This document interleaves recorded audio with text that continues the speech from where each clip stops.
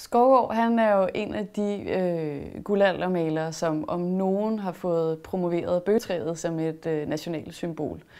Og, øh, og det er sådan lidt mere en konstruktion, end man skulle synes. Faktisk fra slutningen af 1700-tallet, så blev der plantet utrolig mange øh, plantager med græntræer forskellige nåletræer i Danmark, øh, blandt andet for at holde på øh, sandet i øh, de mere sandholdige jorder.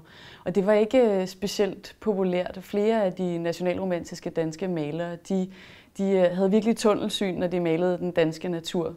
Øh, øh, birketræet, det var Sverigeagtigt, og græntræer, det var Norgeagtigt, eller måske endnu værre, øh, Tysklandsagtigt og en lille smule øh, dystert bøgetræet, sådan et stort saftigt bøgetræ, det var lige sådan, det skulle se ud.